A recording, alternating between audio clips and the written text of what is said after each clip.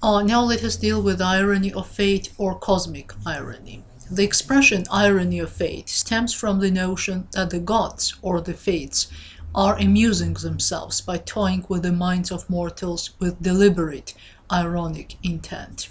Closely connected with situational irony, it arises from sharp contrasts between reality and human ideals or between human intentions and actual results.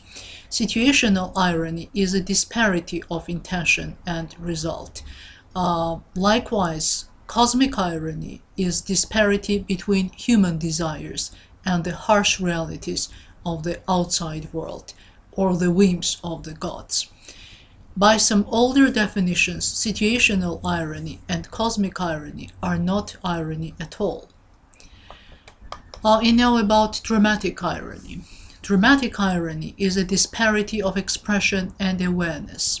When words and actions possess a significance that the listener or audience understands, but the speaker or character does not, when the audience or the reader is aware of something that a character does not know, we deal with dramatic irony. For example, when Romeo believes Juliet is dead, but the audience knows that she has only been given a portion to sleep. Uh, thus, uh, in drama, it is a device of giving the spectator an item of information that at least one of the characters in the narrative is unaware of, at least consciously. Uh, for example, in Pygmalion, uh, we know that Eliza is a woman of the street. Higgins' family does not. Uh, in City Lights, we know that Charlie Chaplin's character is not a millionaire, but the blind flower girl does not. In Cyrano de Bergerac, we know that Cyrano loves Roxane, and he is a real author of the letters that uh, Christian is writing to the young woman. Uh, Roxane is unaware of this. In Oedipus, we know that Oedipus himself is the murderer that he is seeking. Oedipus, Creon, and Jocasta do not. In Othello, uh, we know that Desdemona has been faithful to Othello, but he doesn't a special kind of dramatic irony is tragic irony. Sophocles' Oedipus the King provides a classic, classic example of tragic irony at its fullest. Uh, for another example may serve William Shakespeare's Romeo and Juliet. So when Romeo finds Juliet in a drug death-like sleep, he assumes uh, her to be dead and kills himself. Upon awakening to find her dead lover beside her, Juliet kills herself with his dagger. Um, and now about comic irony. Jane Austen's Pride and Prejudice begins with the uh, proposition, it is a truth universally acknowledged that a single man in possession of a good fortune must be in want of a wife. In fact, it soon becomes clear that Austen means the opposite. Women or their mothers are always in search of and desperately on the lookout for a rich single man to make a husband. The irony deepens as the story promotes the romance and ends in a double wedding. Um, so, in spite of the fact that all the above types of irony are clearly defined, sometimes a problem arises how to distinguish the difference between them. Verbal irony is distinguished from situational irony and dramatic irony in that it is produced intentionally by speakers.